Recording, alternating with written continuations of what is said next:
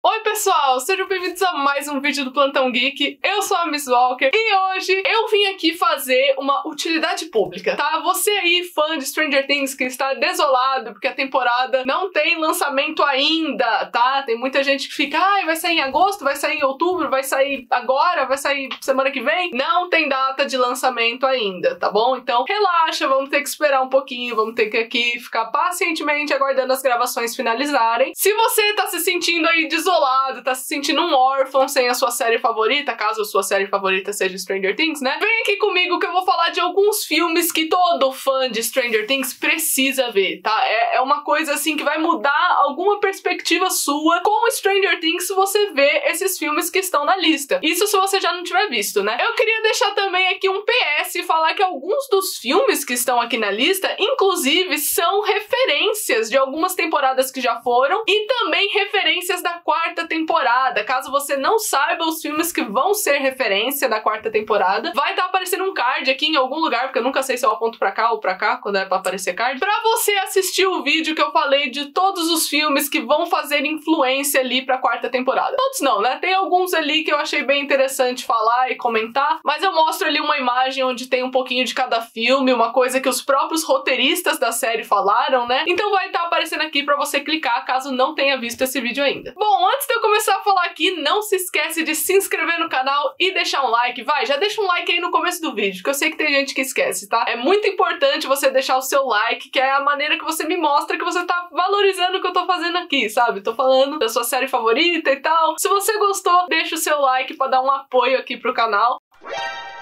Meu Deus, uma barata. Eu não vou me mexer. Barata, João, uma barata, João, uma barata, João. Matei! Agora sim, bora pro vídeo. O primeiro filme aqui dessa lista é um filme que deu início a uma saga que hoje é muito popular entre alguns jovens aí, então tem muita gente que não viu a saga original, que é Jurassic Park. Welcome to Jurassic Park. Discovery of our time. How'd you do this? Becomes the greatest adventure of all time. Jurassic Park conta a história de dois paleontólogos chamados Alan e Ellie que vão até uma ilha que supostamente está rolando um estudo ali que recriou os dinossauros. Bom, em teoria era para ser um lugar seguro, era para ser uma coisa toda científica, né? Tipo, olha só o que, que a gente conseguiu fazer aqui. Só que em determinado momento acaba a energia do lugar e todo mundo fica preso ali um tempinho. Só que assim, gente, são dinossauros. Como é que você consegue controlar um monte de dinossauro? É lógico que isso tudo dá errado e chega a determinado momento que todos os predadores, os dinossauros carnívoros, né, ou seja, os que matam as pessoas, fica tudo à solta ali no meio do parque, no Jurassic Park, né? É por isso que o filme tem esse nome, né? Seria Parque Jurássico, basicamente. E esse filme, gente, é um dos meus favoritos da vida, assim, principalmente o primeiro. São três filmes da trilogia original. Antes das pessoas conhecerem conhecerem Jurassic World, que foi a segunda saga aí que complementou esse Jurassic Park. O primeiro filme, gente, é assim, sensacional. Teve cenas da quarta temporada que foram idênticas ao mesmo esqueminha de cena que eles fizeram em Jurassic Park, uma cena bem tensa, muito louca, que muita gente gostou e pouca gente sabe que foi tirado diretamente de Jurassic Park. Então, assim, se você não viu Jurassic Park ainda, que é o primeiro que tá abrindo aqui a nossa lista, vai atrás, vai assistir, que eu tenho certeza que você vai gostar, sabe? É um suspense legal. Tem umas partes que dá um medinho? Tem, só que é uma aventura muito grandiosa, sabe? Vale muito a pena caso você nunca tenha visto Jurassic Park. O segundo filme dessa lista fez uma ponta especial lá na terceira temporada de Stranger Things, né? Até mesmo os personagens Steve e Robin assistiram uma parte desse filme durante uma cena, que seria,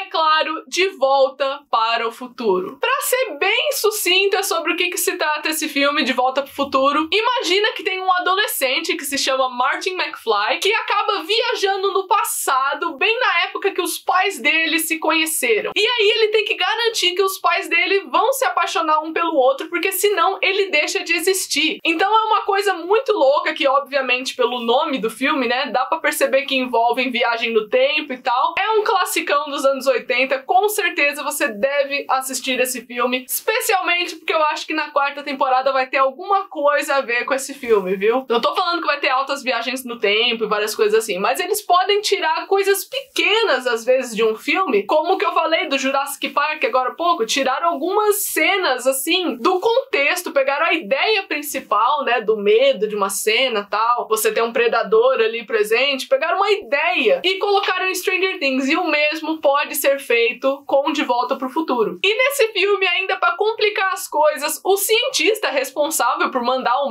Martin ali pro futuro, ele tá morrendo. Então assim, tem tempo pro Martin fazer as coisas, sabe? Ele tem que garantir que os pais vão se apaixonar e voltar a tempo para salvar o cientista, né, o Doc. Então assim, se você gosta dessa temática de viagem no tempo, é um filme bem divertido também, é bem legal, tem umas cenas muito clássicas nesse filme. De Volta pro Futuro é uma excelente pedida para você que é fã de Stranger Things assistir também, tá? Vai anotando aí na sua listinha, vai anotando tudo. O terceiro filme dessa lista envolve toda a parte de ficção científica de Stranger Things. Eles pegaram muita coisa desse filme, que é o primeiro filme da franquia Alien, que saiu lá em 1979.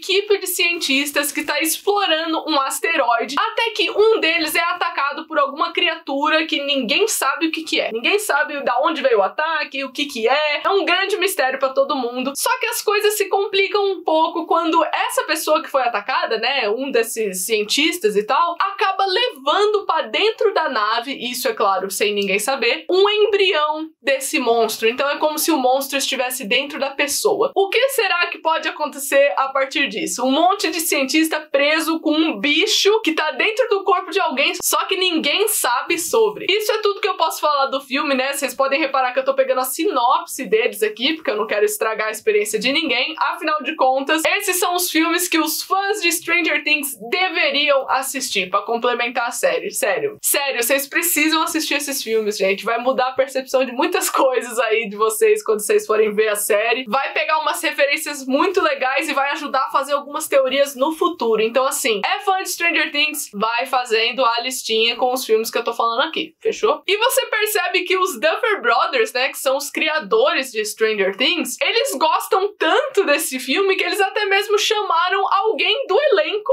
original para participar em Stranger Things. No caso, na segunda temporada. E esse ator também participa um pouquinho ali numa cena da terceira temporada, que é o Paul Reiser, que interpreta o Dr. Owens, também conhecido como aquele cientista bonitinho, do bem, suavizão, que fica ali ajudando o Hopper e a Joyce. Então, assim, se você gosta de ficção científica, Alien também é uma excelente pedida para qualquer fã de Stranger Things. O quarto filme dessa lista é o primeiro filme que veio na minha cabeça quando eu assisti Stranger Things pela primeira vez, assim, foi inevitável, que é o filme Conta Comigo. It happened in the summer of 1959, a long time ago. Oh man, wait to hear this. Wait to hear this. What is it, man? You guys wanna go see a dead body? Pra quem não sabe, esse filme é baseado num livro do escritor Stephen King, que é conhecido também por muitas obras por aí, como Iluminado e It a Coisa, né? Que tem muita gente que gosta de It por aí também. E assim, esse filme eu não posso falar tanto, porque senão eu vou acabar dando spoiler, mas o que você precisa saber é que existem quatro amigos que acabam encontrando um corpo no meio da mata, um corpo de um adolescente, e isso acaba fazendo um marco na vida desses quatro meninos, que assim, é uma cicatriz que nunca mais vai sair deles, é uma coisa que vai ligar esses quatro amigos para sempre, o que é muito a vibe de Stranger Things, né? Você não vai cortar amizade com pessoas que estão passando pelo mundo invertido com você, né? Por todas essas situações. Então a principal vibe de Stranger Things, na minha opinião, é de conta comigo, e você precisa ver esse filme para você conseguir identificar esses pontos de Stranger Things. Gente, é absurdo, sabe? Você vai ver no filme e você que já assistiu Stranger Things, você vai estar tá assistindo pela primeira vez esse filme e vai falar: gente, esse cara copiou na cara dura, olha. Falando de amizades que são mudadas aí para sempre também, é claro que nessa lista não podia faltar Clube dos Cinco. A brain, a beauty, a jock, a rebel, and a recluse. Can't believe this is really happening to me. Before this day is over, they'll break the rules.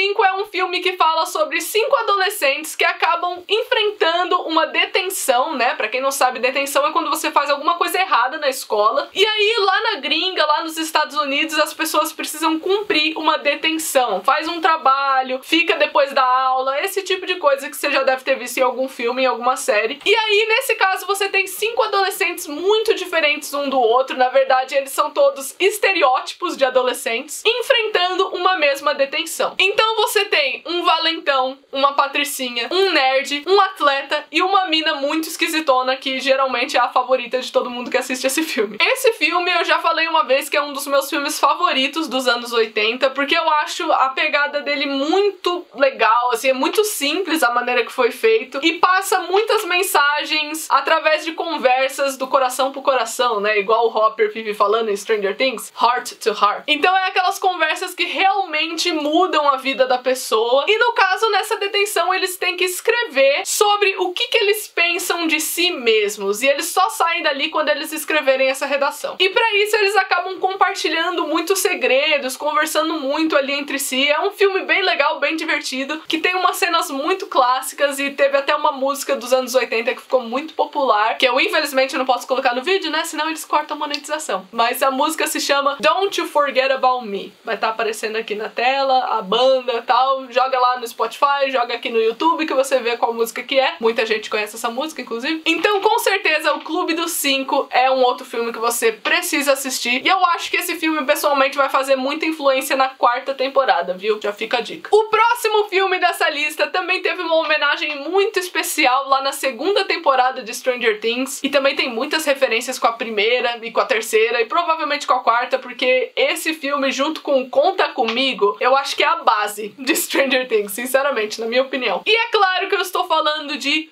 Os Goonies.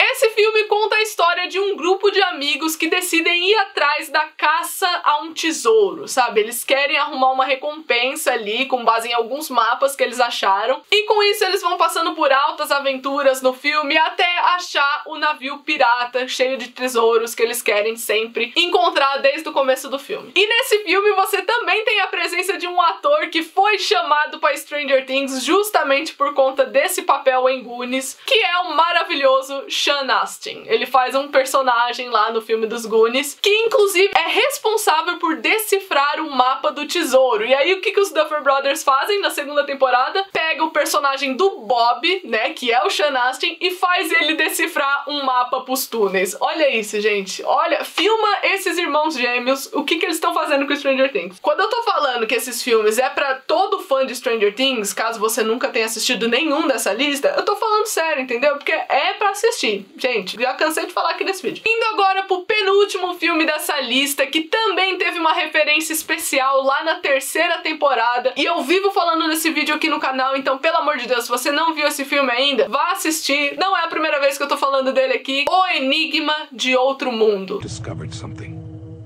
For 100,000 years, it was buried in the snow and ice. Now it has found a place to live. Inside. O Enigma de Outro Mundo basicamente fala sobre uma criatura que ataca o acampamento de um monte de cientista e soldado americano lá na Antártida. Só que tem um porém nessa criatura aí. Ela acaba possuindo qualquer coisa, pode ser um animal, pode ser uma pessoa, e acaba se transformando naquilo. Então você não sabe se a pessoa que você tá falando é realmente o seu amigo ou é o monstro que entrou dentro do seu amigo. Então assim, isso é familiar para você? Com Stranger Things. Basicamente tudo que aconteceu com o Will, tudo que aconteceu com o Billy em Stranger Things e todas as outras coisas que ainda podem acontecer envolvendo esse tipo de possessão pelo Mind Flayer vem diretamente do Enigma de Outro Mundo e até os personagens da série sabem disso porque eles fazem referência constantemente. It's like Carpenter's The Thing. The original is the classic.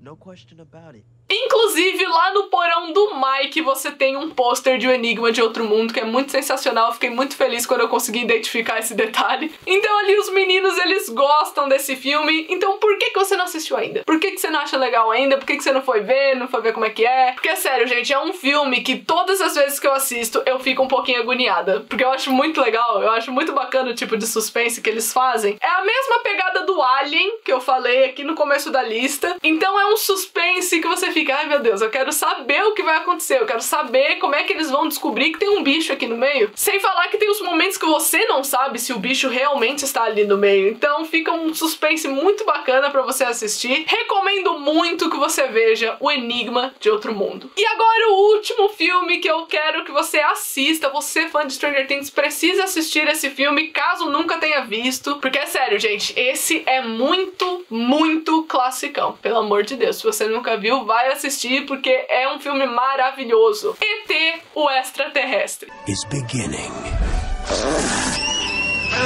Again.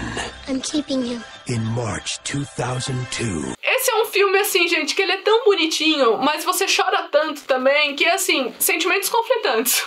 Esse filme conta a história do garoto Elliot, né, um menino ali que tem dois irmãos, que acaba encontrando um extraterrestre super bonzinho, super fofinho, que se perdeu do caminho de casa e ele acaba ficando ali com o Elliot. E aí você tem que passar pelo desafio de não deixar ninguém ver esse ET, sabe? Ninguém pode se meter, tipo, os adultos. Imagina o que acontece se vê um ET desse. Pode acontecer um monte de ruindade com o bichinho, sabe? Não pode ninguém ver esse bicho. É muito engraçado as referências que Stranger Things fez quando se trata de ET, porque a Eleven na primeira temporada, ela é o ET, gente. Literalmente, assim, ela usa roupas que é igual do ET. Olha essas imagens aqui, comparativas. Pelo amor de Deus, até a peruquinha é igual. Então toda aquela relação do Elliot com o ET foi diretamente ali espelhada com o Mike e com a Eleven na primeira temporada. Pelo menos a princípio, né? O primeiro contato, aquela coisa de curiosidade, tipo, nossa, a menina tem uma tatuagem no pulso, ela veio de uma realidade diferente da minha. Isso é totalmente retirado de ET.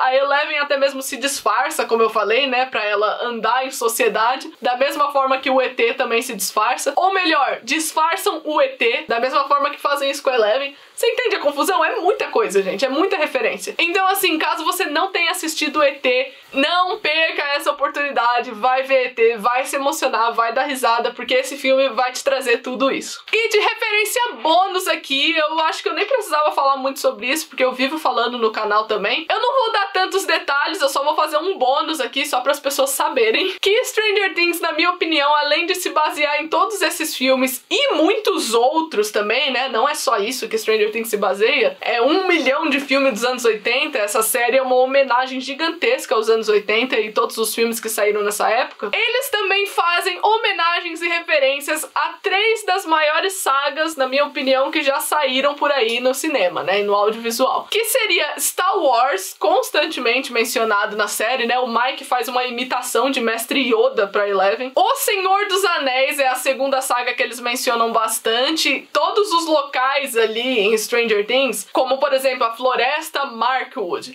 Esse nome, Markwood, vem diretamente do livro do Hobbit, que faz parte ali da saga do Senhor dos Anéis. E na época, nos anos 80, os livros de Senhor dos Anéis, que tinham saído lá nos anos 50, estavam muito populares. Então é por isso que a galera gostava de D&D, que é uma coisa ali com criaturas mágicas e tal. É por isso que os meninos gostam tanto de D&D, por conta de Senhor dos Anéis. E existem três filmes de Senhor dos Anéis para você assistir, uma saga inteira de Star Wars para você ver, e a terceira e última saga que faltou mencionar era uma que não saiu naquela época, mas os Duffers já assumiram que eles pegam muitas referências dela, que é claro a saga Harry Potter, que tem um vídeo aqui no canal só linkando Stranger Things e Harry Potter, vai estar tá aparecendo aqui pra você. Então caso você nunca tenha visto nada dessas três sagas também, eu recomendo como bônus aqui nesse vídeo que você dê uma conferida também. Então é isso, eu espero que vocês tenham gostado do vídeo de hoje, não se esquece de se inscrever no canal e deixar um like, porque isso me ajuda muito, e fiquem atentos no meu Instagram, no meu Twitter, tá bom? Porque eu vou lançar algumas novidades ali sobre o quadro novo de Stranger Things que vai ter aqui no canal, tá? Você não vai querer perder esse quadro, vai ser uma coisa muito legal, vai ser uma coisa que eu tenho certeza que vocês vão gostar. Então também não se esquece de me acompanhar lá no meu Instagram, no meu Twitter, é o arroba xmisswalker, tá? O mesmo que aparece em todo começo de vídeo, sabe? Me segue lá no Instagram e no Twitter pra você não perder essas novidades. E eu vejo vocês no próximo vídeo. Tchau!